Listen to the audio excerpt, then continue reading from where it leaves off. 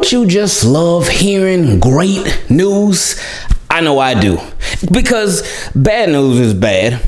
Good news is good, but great news is even better. And just to see this great news that we all got today, that we, we have been anticipating, we have been having a bunch of different conversations about it. We had all been wondering when something like this was going to happen, especially pertaining this particular player but we finally got some clarification and great clarification today.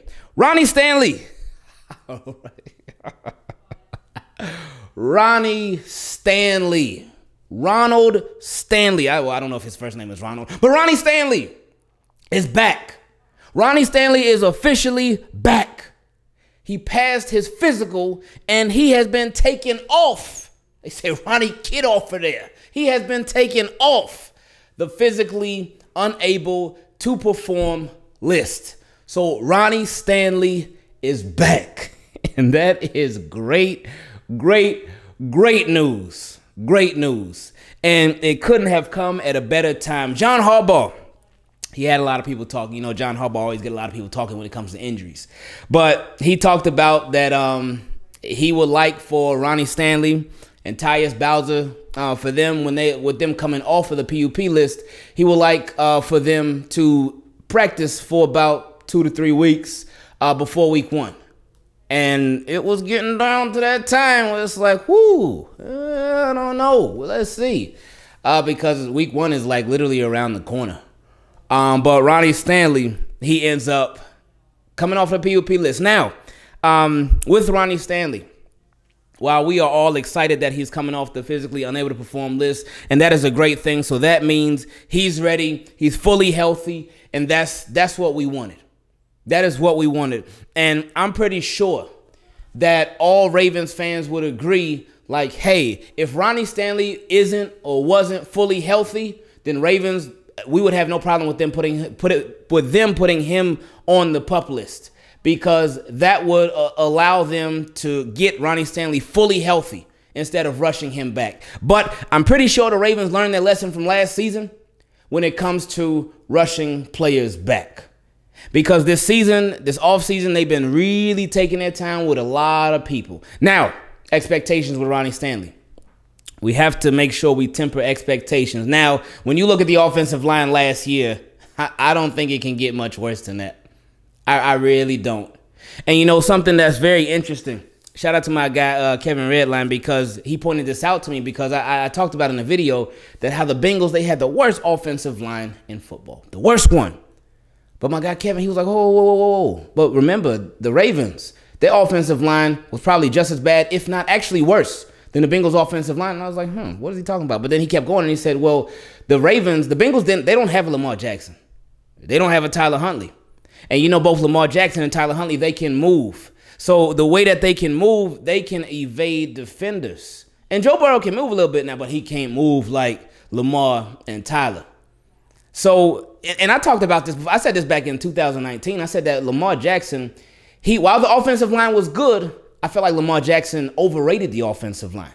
He made them overrated just because of everything that he was able to do. Not saying they were bad, but Lamar Jackson just made them look that much better because he can make people miss. So that would take away from them giving up a sack. Say, for instance, somebody blows past somebody on the offensive line. Lamar makes a miss. Oh, okay. They didn't give up a sack. All right, great. So that's not on the stat sheet. But anyway, um, Ronnie Stanley being back with expectations. We got to temper expectations. Because, like I said, nothing can be worse than what we saw last year with the offensive line. But with Ronnie Stanley, I don't think it would be fair, especially since he hasn't played football like a year and a half I don't think it would be fair to feel like, all right, Ronnie Stanley, you're gonna go out there and dominate from jump. I mean, we would love that. I would love that. I ain't gonna complain if he goes out there and dominates from jump. No problems with that. But I don't think it would be fair to just assume that, all right, once he's back out there, he's just gonna be this dominant left tackle. He's gonna be one of the best left tackles in the league from jump. Again, we will hope that that is the case, but I don't think it should be, I don't think that would be a fair expectation. Now, again, I do expect him to be much better than what we saw last year, but still. Another concern, too, is that Ronnie Stanley, he hasn't played a full season yet in his career, I don't believe. So, um, not only do we hope that he's fully healthy, but we hope that he can remain healthy. Man, I, I know with this injury, with his injuries, it has been sparking a lot of conversations amongst people. I know, like, well, somebody they keep being hurt, and there's a lot of questions, question marks surrounding them. So a lot of people they they started wondering, like, man, what's his contract looking like? They start thinking about them thoughts. But now with Ronnie Stanley being back, hopefully he can put a lot of those thoughts at ease um, through both his play on the field and hopefully his stay as well, him staying on the field. So that is great news. Great news that Ronnie Stanley is back. Cause it just because y'all remember around this time last year, we weren't getting great news as Ravens fans around this time last year. Last year was all bad news. Last year was it was all bad. This guy's hurt. That guy's hurt. That guy's hurt. Oh, he's out for the year. He's out for the year. He's out. That's all we kept getting, and then it lasted throughout the whole season. The whole season. So, yeah. But anyway, um, while we did get that great news, it also came with some not so great news. Um, and this was actually surprising to me because I, even though like last year, because he got hurt in the last game of the season, and he was really coming along, getting better and better as the season went. Uh, and you felt so bad for him because it's like, man, this is a season, not necessarily a wasted season, but it's a season that's it, it going, it's going down the drain. And to be hurt in the last game of the season, oh, you felt so bad for Tyus Bowser. But he was somebody I was for sure like, all right, yeah, he, he getting ready to come back any day now. Tyus Bowser definitely gonna be ready for week one. Because we know his injury happened so late, but then when you saw him walking, you ain't seen no limp or nothing like that. And it was like, okay, no, nah, nah, oh yeah, Bowser's gonna be straight. Oh yeah, we, we getting Bowser back by week one for sure. We getting him back. But nope, because they placed Bowser on the pup list. So Bowser has been placed on the physically unable to perform list. So now with the new rules, that means that Tyus Bowser, he's going to be missing at least um, the first four games. The first four games of the season. Uh, then at that point, the Ravens will have to decide whether they're going to activate him to the active roster. And I think he should be ready by then. But hey, I, I thought he I thought he was going to be ready by um by week one. So I I don't know. I don't know what's going on. Um, so I, I guess that injury again, the timing was really bad though.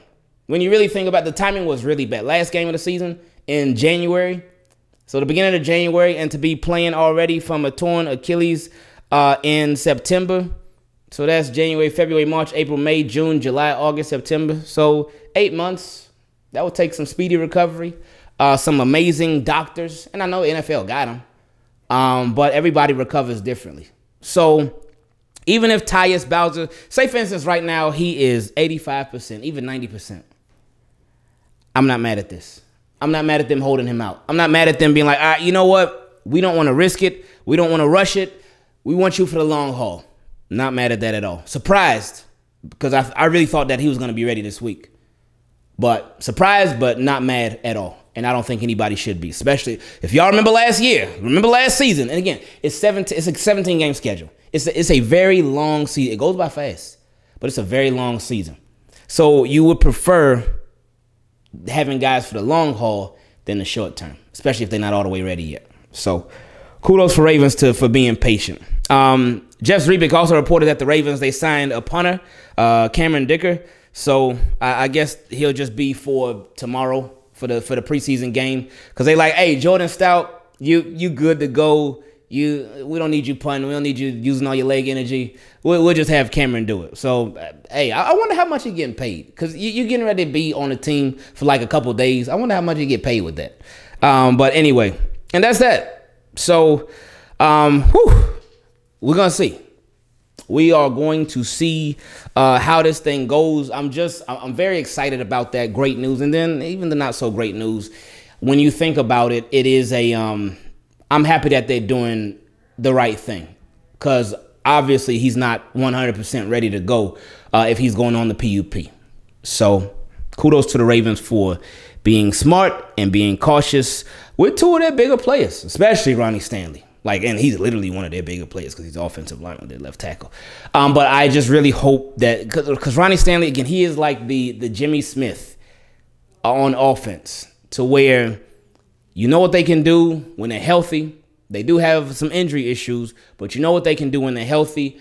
And they they completely change the Ravens when they're healthy. They they and when they're not healthy, everything changes for the worse in a major way. And y'all remember that that impact that Jimmy Smith had, man, because I remember so many times, so many games, so many playoffs. Oh, Jimmy Smith's playing? Yes. Jimmy Smith's not playing. Oh, man. It changed everything just like that. So I think that that has been one of the biggest reasons why over the years the Ravens really, really invested into that cornerback position like crazy. Like especially when um when they the years where they brought in Brandon Carr, it was like oh yeah, and they really start like they're like we can't we can't have this no more to where if Jimmy Smith is out then everything falls apart. They couldn't do it. So and yeah, they had drafted Marlon Humphrey obviously. Brandon signed Brandon Carr, traded for Marcus Peters. Um, so yeah, y'all been seeing how they been moving. But anyway, that's that. I love y'all. I appreciate y'all. And just like Ronnie Stanley is no more, we out.